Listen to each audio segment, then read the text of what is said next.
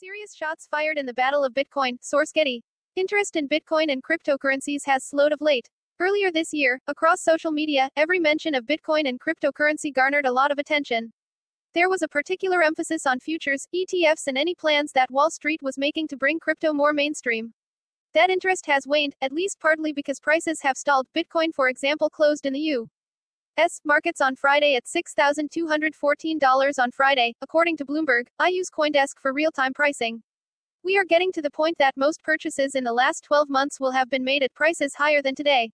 Early adopters are still doing well on their early purchases, but very few people who have bought Bitcoin in the last 12 months can say that. That is definitely hampering the ability of Bitcoin to attract new adopters, which remains key to it being able to rise in price. Advertising. InRead invented by Teads. The other element that is impacting interest in Bitcoin is the fact that it has become less volatile.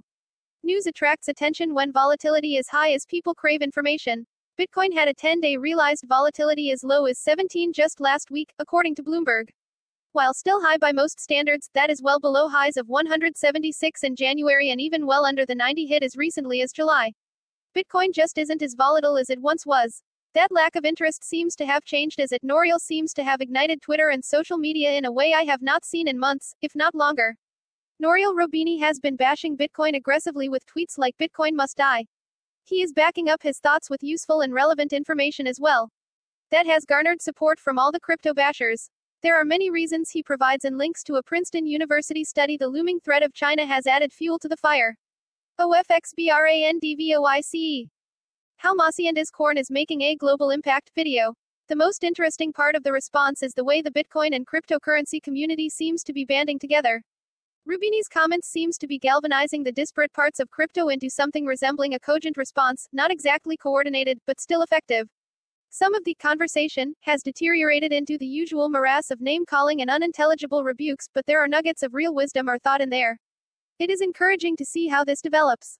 Before anyone out there declares victory for the Bitcoin bashers, let's remember a couple of things. Dr. Doom, at least to my recollection, has been wrong on a lot of markets, in many cases for long periods of time. He was one of many that predicted the financial crisis, and that is a claim to fame, but many others saw it, and like anything else, timing was crucial for helping investors. That he has chosen this time to up his ante in the war on Bitcoin is interesting. He may be right, but his track record on calling bubbles is not perfect. It makes sense that Bitcoin bashers are coming out of the woodwork. It is hard to bash something when it is going up every day, or most of the people who have participated are making a lot of money. Market commentary more often than not tends to follow price action rather than lead it. So, as Bitcoin has called, it is much easier to be outspoken about its problems. I remain bearish on Bitcoin and cryptocurrencies at these prices. I expect the publicity will actually hurt prices more over the coming weeks as I doubt the debate taking place will encourage new adopters and may actually discourage some weak hands who will decide to sell. This could be a turning point in the crypto debate. I am watching closely for the counter arguments and what some of the best crypto business minds have to say in the coming days. If the crypto community can deliver a strong rebuke, then we could set the stage for more growth. It has been over a year since I was bullish crypto and finding an excuse to resume that stance would be something I'd enjoy as I dislike becoming a permabull or permabear in any asset class and I've been slipping into permabear territory on crypto. It's been right since I did it but I have missed so. Me of the upsides.